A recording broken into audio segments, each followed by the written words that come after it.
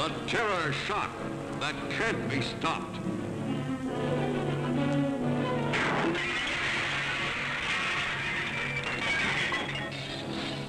You're not God. You're not even human.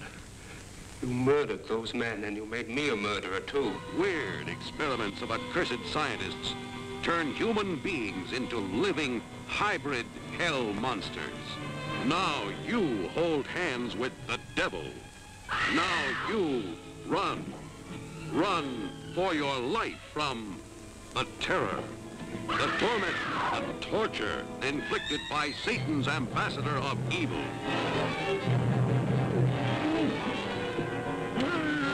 The next victim could be you. Or you. Or you. Caught forever by the curse of the fly.